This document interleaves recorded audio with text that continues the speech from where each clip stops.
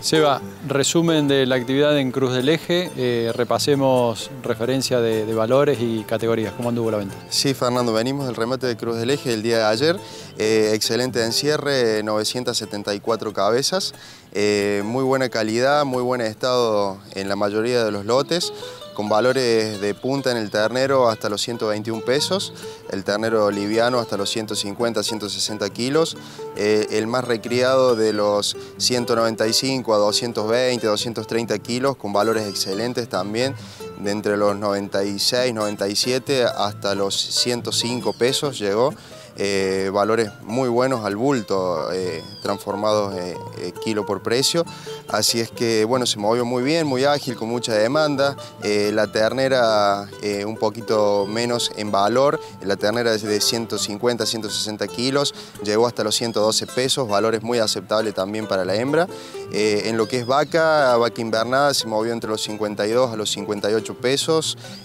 vaca manufa más encarnada, tirando a gorda, se movió entre los 58 y los 62 y la gorda de pasto eh, entre los 62 a los 69,50. Comenzando ya a pensar la planificación del invierno, cómo es la perspectiva de la zona en función de lo climático y en función de eso también, eh, cómo ven ustedes las decisiones de los productores sobre receptividad y demás, cómo, cómo está la actividad. Mira, el norte de Córdoba se encuentra eh, en una situación